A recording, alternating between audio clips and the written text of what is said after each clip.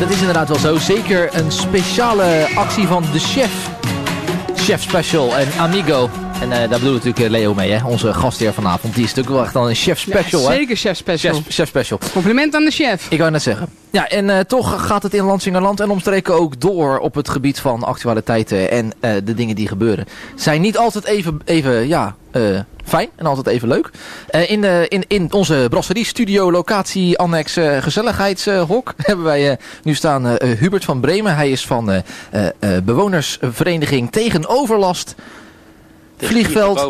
Vlieg, ja, vlieg, ik, ik, zie je, ben ik, weer het net gegeven. Vliegtuigoverlast. Dus, uh, ik, ik, ik zal het nog eens even Van goed. 16 hoven, ook wel bekend als Rotterdam, de Heek Airport. Dat ja, klopt. precies. Ja. En um, dat is een hele mond vol, maar uh, eigenlijk is het natuurlijk best wel duidelijk wat jullie doen. Want uh, wat, wat doen jullie precies? Nou, we bestaan 31 jaar. En uh, we hebben op dit moment uh, leden in uh, 17 gemeenten van Zuid-Holland. De meeste leden hebben we in Rotterdam, waar we 31 jaar geleden zijn opgericht.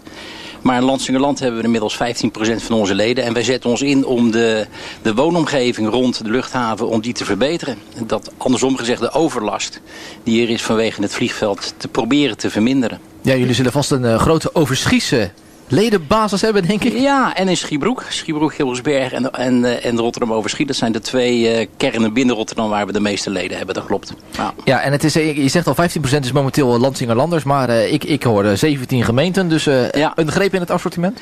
Nou, vooral bijvoorbeeld Delft is ook een groeigemeente voor ons. maar zeg maar Pijnakker, Nooddorp, Capelle, Krimp, De Lier, Westland, Spijkenisse, Oostvoorne. Dat zijn allemaal gemeenten Oostvoorne? waar we leden. Ja, ook. Ja, dat is toch wel een eind bij Rotterdam, uh, Rotterdam Airport. Ja, maar door, omdat het vliegverkeer van Schiphol, daar uh, komen we gelijk op een inhoudelijk punt. Het, het, vliegverkeer van Schiphol krijgt in Nederland absolute prioriteit. Dat wil zeggen dat de vliegtuigen die van Rotterdam vertrekken of landen, die moeten laag blijven. Lager dan strikt nodig is. Is eigenlijk ook niet zo gek, toch? Uh, ja, je, dat, nou, je zou ook andere keuzes kunnen maken. Je zou kunnen zeggen, nou, ze hebben e zijn eventueel even belangrijk. En dat zou inhouden dat de vliegtuigen die hier opstijgen sneller omhoog kunnen. En dan hebben de mensen hier minder last. Want dat, dat is eigenlijk de reden waarom, we, waarom ja, jullie zo groot zijn. In Lansing, in, in Lansing omstreken eigenlijk heel Zuid-Holland vliegen de vliegtuigen gewoon opvallend laag. Uh, lager dan technisch gezien nodig is. Maar dat komt omdat dus Schiphol verkeer absoluut prioriteit krijgt. Uh, en dat zijn natuurlijk veel meer vliegtuigen, dat begrijpen we ook wel. Um, en die hebben allemaal bepaalde vastgelegde routes waarbinnen ze moeten blijven. En uh, die gaan onder andere over Lansingerland uiteraard. Want ja, de luchthaven ligt natuurlijk heel dicht bij woongebieden. Ja. Dus uh, ja, het kan bijna niet anders dan als je daar van vertrekt of uh, daar naartoe landt. Ja, dan kom je over, over grote woongebieden. En doordat die vliegtuigen te lang te laag vliegen, hebben jullie last van geluidshinder? Ja, ik denk dat we, uh, als, als zouden ze eerder omhoog gaan... dan zouden bijvoorbeeld Schiedam en Rotterdam en Lansingerland nog steeds wel last hebben. Maar het is nu uh, meer dan strikt nodig is. Even uh, terug naar 31 jaar geleden, want uh, toen zijn jullie opgericht. Was het toen ook al zo'n hot issue? Uh, toen wel, dat was de reden. Alleen de getallen waren toen nog aanmerkelijk lager, zou ik maar zeggen. Hè. Dat, daar had je hooguit, waren er misschien 500.000 of 1 miljoen passagiers. En nu zeg maar 1,7 miljoen passagiers. Dus de luchthaven is bijvoorbeeld de laatste 17 jaar in aantal passagiers 250 ge, uh, gegroeid. Dus er is een aanmerkelijke expansie heeft er al plaatsgevonden. Uh, ja, en, en, en navenant meer overlast. Ja, ik heb zelf eigenlijk 23 jaar in Schiphol gewoond, vlakbij Rotterdam Airport. Um, hoorde ook elke dag wel vliegtuigen voor uh, laag vliegen. Zelf nooit echt last ervan uh, gehad. Maar ik kan me voorstellen, mensen die hoe dichterbij je woont, hoe meer last je ervan hebt. Zijn er ook, uh, wat zijn nou echt gevolgen van de mensen die heel erg last hebben van geluidshinder? Nou, kijk, als je het rapport van de Gezondheidsraad leest over zeg maar de gezondheidsproblemen ten gevolge van s'nachts wakker worden. en er worden het zeg maar toch wel duizenden mensen worden s'nachts regelmatig wakker door die, door die vliegtuiglawaai. Dan ja, krijg je toch allerlei, uh, allerlei medische problemen toch. Je slaapt niet goed, zou ik maar zeggen. Uh, en het is sowieso natuurlijk vervelend uh, om, om gehinderd te worden. Hè. Dat zijn mensen vooral ook in Overschie, maar ook in Schiebroek toch. Als je wat dichter bij die baan woont en je zit lekker in de tuin of wat dan ook. Ja, dan, ja. dan wordt je woongenot natuurlijk aanmerkelijk ingeperkt. Ja maar, ja, maar ik kan me voorstellen dat, dat, dat, dat de tegenpartijen zullen zeggen van ja, nou ja, dat is een beetje het gevolg van dat je daar gaat wonen. Er zijn ook mensen die wonen bij een trein. ja, dat klopt. Ja, nee, ik ben station. er ook 33 jaar geleden gaan, gaan, wonen, zou ik maar zeggen. Toen was er nauwelijks nog, nog overlast. dus de, de overlast nu is, is onvergelijkbaar met, met, een hele tijd, met een hele tijd geleden. Dus die is aanmerkelijk toegenomen. Uh, het was ook een tijd dat dreigde dat de luchthaven uh, gesloten zou moeten worden... omdat er nauwelijks uh, verkeer was. En toen hebben ze die grens opgerekt en toen is, is er ook heel veel vakantievluchten bijgekomen. en nu is het dus levensvatbaar. Maar ja, de, het ligt des te meer in allerlei woongebieden. Ja, dat is uh, iets waar we zo meteen nog, uh, nog natuurlijk verder over door gaan praten. Over de levensvatbaarheid van het vliegveld. En ook de reden waarom het nou zo, zo, zo groeit en bloeit. Wat ook een beetje natuurlijk de reden is van, van de extra overlast die daardoor uh, ondervonden wordt. jij blijft natuurlijk gewoon nog eventjes bij ons zitten. En wij gaan even naar de script met Superheroes hier op Lansing.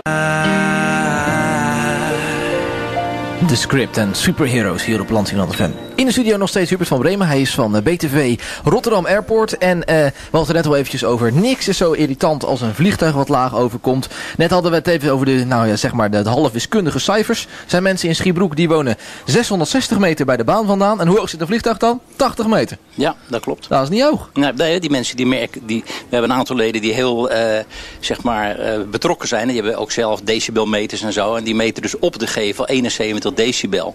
En dan kan jullie verzekeren dat is echt hard. Uh, die voelen dus hun ruiten in de sponningen trillen, zou ik maar zeggen. Zo hé, dat is toch niet echt... Zeg maar, nee, als je, als je in, de, in, in, de tuin ziet, dan kun je zeg maar de, de groef op de, op de, op de wieltjes stellen. Zeg maar. Bijna wel, bijna wel. Ja, wat, wat, is, wat heeft de woningbouwverenigingen nou hier voor reacties op gegeven? Ik heb van nog geen één woningbouwvereniging in al die jaren iets gehoord. Dus uh, geen flauw idee. En, en ja, net hadden we het er ook even over. Wat is nou... Kijk, jullie zijn al best wel lang en hard bezig. Jullie hebben veel leden in dat opzicht. Uh, uh, hoeveel... Ja, hoeveel politieke impact heeft dit nou? Ja, we merken, we praten uiteraard met wethouders van Schiedam, van Lansingerland, van Rotterdam. We praten met gemeenteraadsleden. Uh, we proberen ook richting de provincie, die ook een bepaalde rol speelt, uh, onze standpunten te, te verdedigen. Uh, bij Schiedam denk ik dat we redelijk succesvol zijn, want die zijn ook heel kritisch over de luchthaven. ik had vorige week een gesprek met wethouder Simon Fortuyn hier. Die neemt nog formeel nog geen standpunt in, want hij is nog met de gemeenteraad aan het praten. En hij moet nog met de verkenner praten.